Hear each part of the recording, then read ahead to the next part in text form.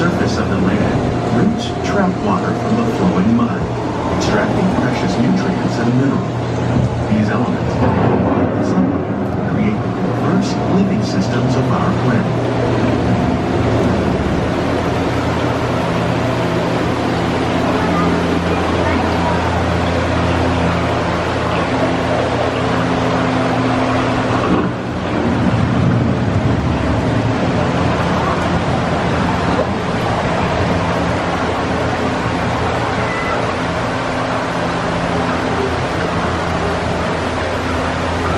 One of those living systems is the rainforest, home to the most amazing concentration of life on our planet.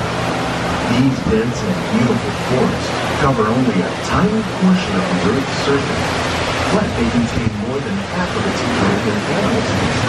Rainforests are extremely rich in productive living systems, providing us with oxygen, food, medicine, and other elements essential to our lives.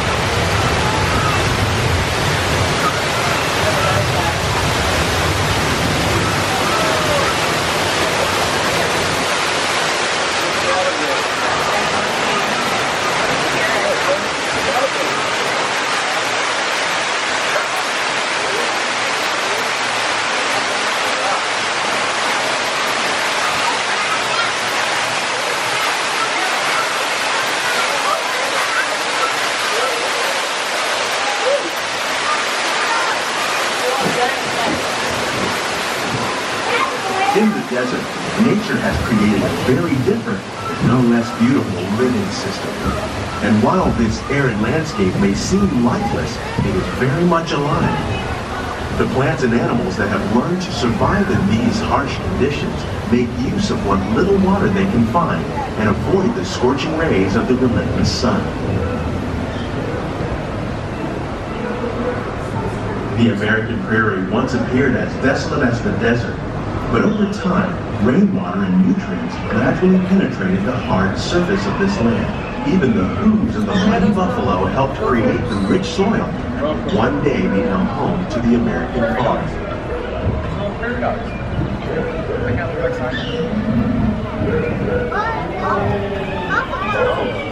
Oh, yeah.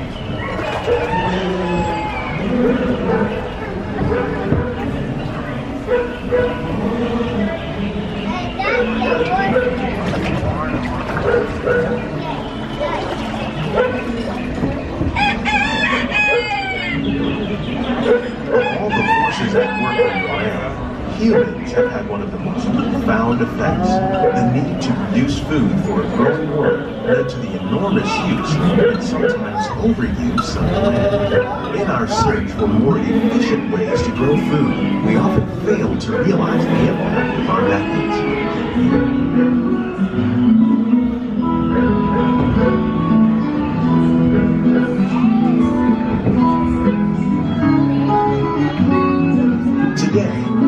Learning to live with the land, discovering better ways to grow food that will assure both human and environmental well-being.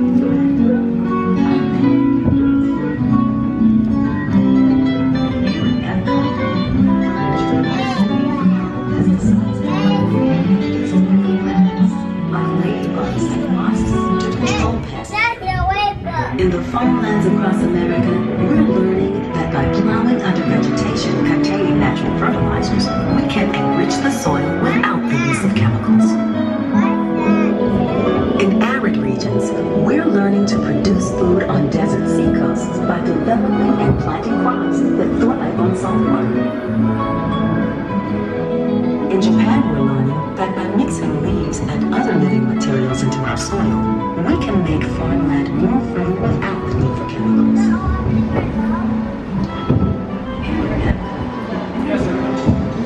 How will we meet tomorrow's growing needs for food production, yet still respect the needs of the land? Some of the answers are being discovered just ahead.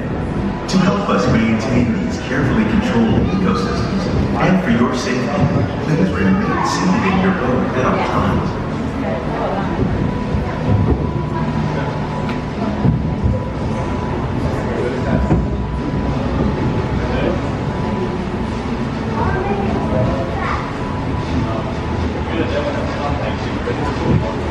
Welcome to our living laboratory, where scientists from EPCOT and the U.S. Department of Agriculture are exploring innovative ways to produce bountiful harvests now and into the future.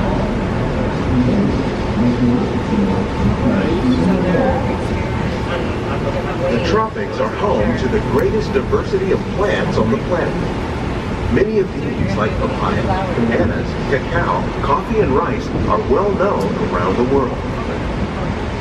These are just a few of the edible plants that have been an important source of nutrition for people living in the tropics. Many are rich in vitamins and minerals, while others are well adapted to growing in less than ideal conditions. Some, like the water lily, thrive in wet, swampy areas and waterways. All parts of this plant, even the flower petals, are edible. The starchy fruit of the plant has long been used to make flour for baking.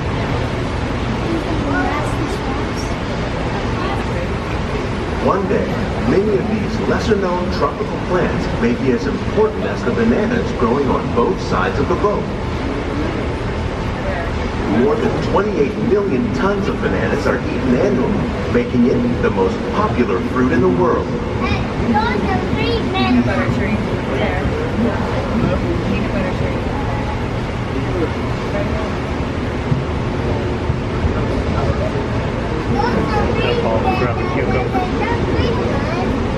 I don't think I will. Because it'd be an island, I'd get thrown out.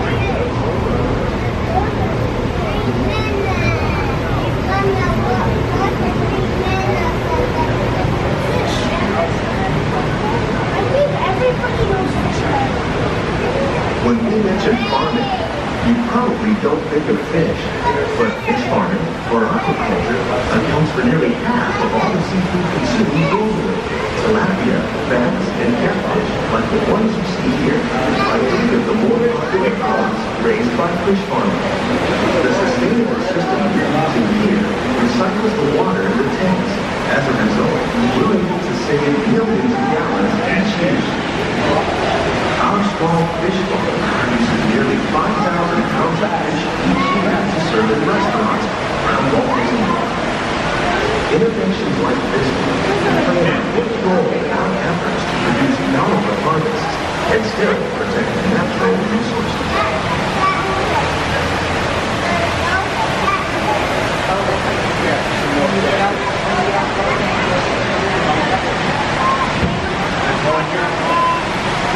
one.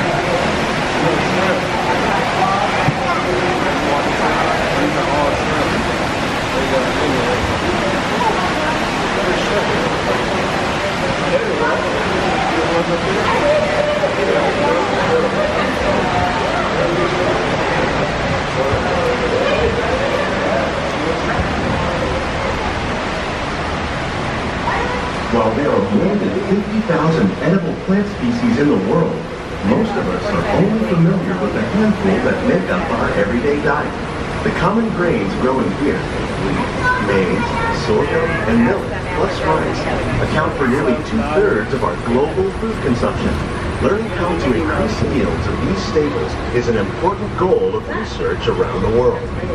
Lexi's heading to Frozen. She's in the middle. The two over here, they're going to Frozen. That's I said, you know, you getting stuff there, they got strawberry trees.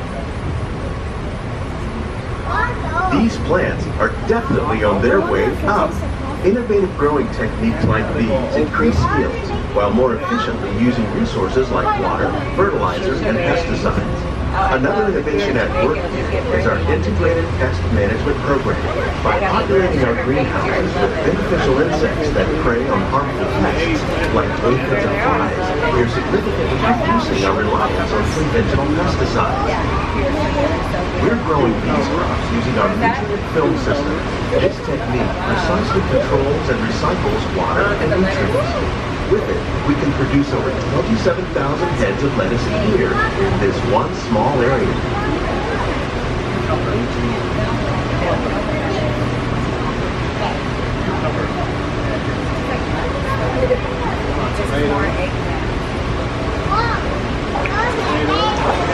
Some of our best ideas have been inspired by nature, like these fruit and vegetable trees. By growing these ground plants vertically, we can increase yields and better control diseases. These crops taste as good as they look. In fact, we serve more than 15 tons of produce from our greenhouses in restaurants here at the land every year.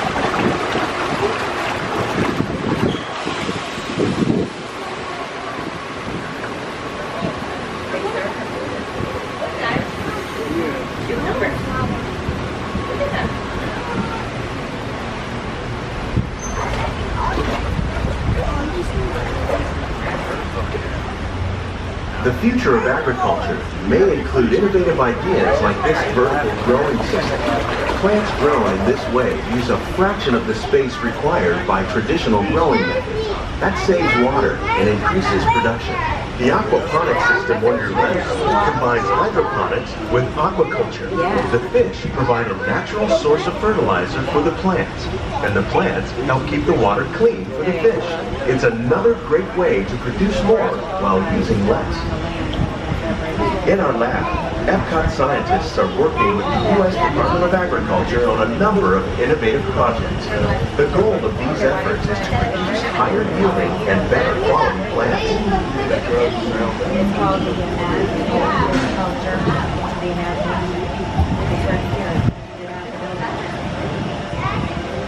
No, it's how to drink it. Ask them to tell Closer look and check the behind the scenes walking tour. It's a chance for the whole family to get up close and personal. It's the dragon right here. growing techniques in our laboratory. These greenhouses represent just a fraction of the work being done worldwide to produce bountiful harvests for our growing population. And you definitely do that before you. Scientists, farmers, and even backyard gardeners are doing their part to improve the quantity and quality of foods that we all rely upon. Together, we can continue to find more ways to increase food production and protect our precious natural environment.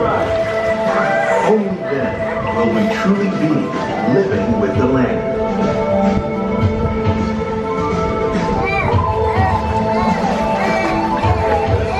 On behalf of Walt Disney World, we hope you've enjoyed this unique journey through our living laboratory. We'd like a closer look and check out the behind-the-scenes walking tour. It's a chance for the whole family to get up close and personal with the plants and growing techniques in our laboratory.